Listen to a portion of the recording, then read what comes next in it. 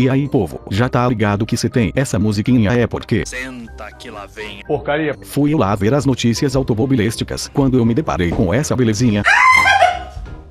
Exatamente, seus olhos não estão ouvindo errado. O ano nem começou e a Honda já me acordou com um fumo de 244 conto num Civiqueira. Acho que eu vou ser obrigado a ir de Corolla que tá mais barato. Ué.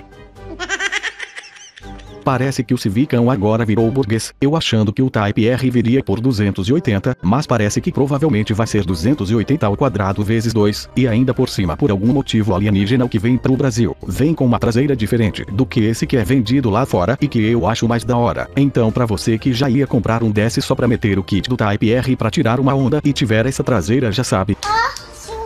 Mas só pra não dizer que não dá pra dar uma tapa no visual desse bitelo brasileiro. Tá aí um kit de tunagem by AliExpress que já fizeram pra esse carro, com peças de alta qualidade em fibra de carbono de verdade. Claro, claro.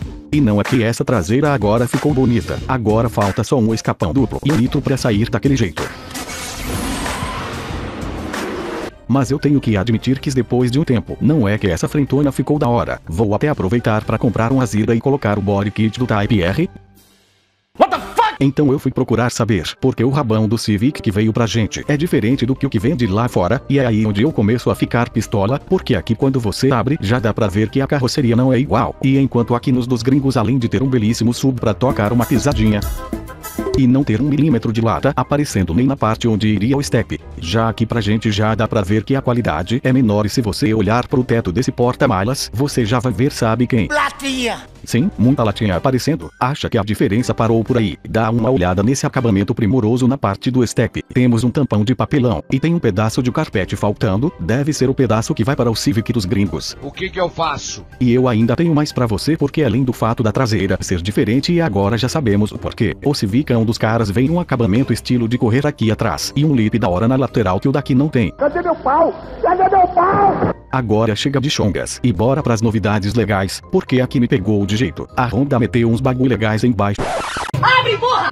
Pera que o cara tá agarrado aqui no capô. Então temos aqui um motorzão 4 caneco 2.0 aspiradão com injeção direta de 143 cavalos e 19 kg de torque. E pra ficar melhor a Honda botou esse cabão laranja pra você. Ai, ai!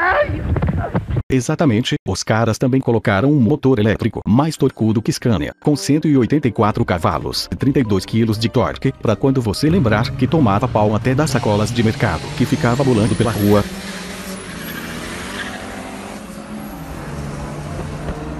Porra, não faço mais amizade com vocês, não. Agora com essa caralhada de torque, quando você der aquele pau nos jetas da vida, você poder chegar no coleguinha e finalmente dizer: Perdeu. Nanacote. Ainda não temos registros das primeiras bengas, mas tá aí um acelero de leve só pra testar. Eita porra!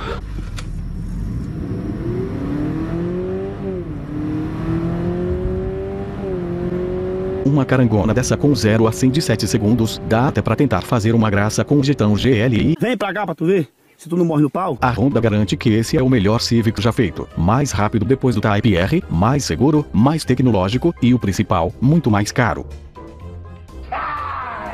Já dentro do carro, não tem nem o que falar olha esse banco estilo Gol Bola, mas com ajuste elétrico, porque agora Civiqueiro é burguês, além do teto solar para andar com a jaca de fora na BR, dá até para colocar no modo esporte e mandar uns punta taco nas reduzida com o belíssimo câmbio de uma marcha.